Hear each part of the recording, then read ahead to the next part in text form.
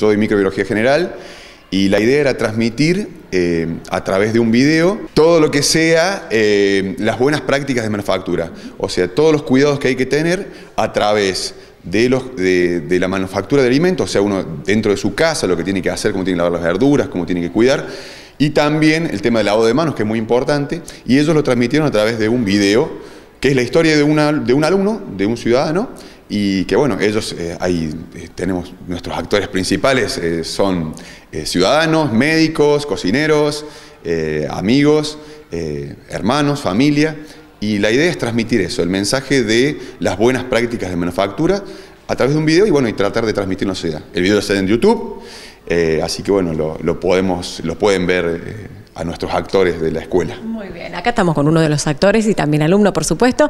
¿Cómo les ha caído a ustedes la idea de poder elaborar un video y cómo lo hicieron particularmente? ¿A través de qué medios? Quizá celular, quizá cámara. ¿Cómo fue el rodaje de ese video?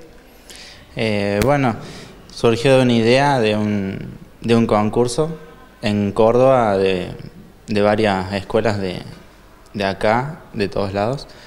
Y bueno, el profe tiró la idea y nosotros fuimos tirando ideas también lo fuimos elaborando acá en el colegio, el video, con el celular, así simple.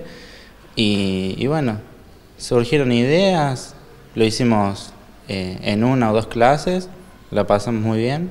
Eh, ¿En qué consiste el video? ¿Qué es lo que ustedes comunican? ¿Qué, ¿Con qué nos podemos encontrar? Eh, gente actuando, situaciones cotidianas, comunes y a la vez un mensaje.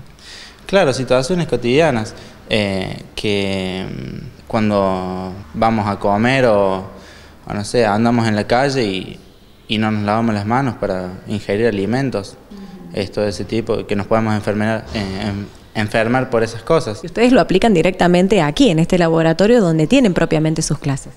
Sí, tenemos eh, dos laboratorios, el de producción y el de laboratorio químico, eh, pero elaboramos acá alimentos y para hacer trabajos prácticos y consumirlos nosotros. Esto, profe, también a los chicos les da una conciencia de lo que será próximamente quizás un futuro laboral para ellos, eh, en qué condiciones óptimas se trabaja y en este sentido también es propio contar con estas instalaciones que con mucho orgullo ustedes siempre eh, tienen la posibilidad de mostrarlo. Sí, la verdad que sí, la escuela le pone garra eh, con mucho esfuerzo y los docentes también.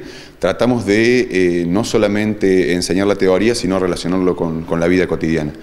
En, la, en la materia nuestra, que es microbiología, eh, tratamos de que todos los, viernes que tenemos la, materia, hacerles prácticos y trabajar y hacer siembras microbiológicas, que por ahí en otras instituciones no lo tienen y bueno, acá le ponemos eh, eh, todo el esfuerzo para que hagan una siembra, para que trabajen y para que sea lo más parecido a la realidad y a la industria, ¿no? A la industria y, bueno, y, y la idea de todo esto fue relacionarlo con la sociedad y vincular a la escuela con la sociedad, que eso es importante. Por eso surgió el video, edición de ellos al 100%, producción de ellos y bueno, obvio que hubo todo un trabajo previo de estudio y de investigación para que lo que se dijera tuviera eh, un respaldo, ¿no? Y hasta ponemos información de la Organización Nacional de, la ONU eh, con datos eh, estadísticos de, de las enfermedades transmitidas por alimentos que, bueno, que son las enfermedades que se dan cuando uno no cumple con las buenas prácticas de manufactura.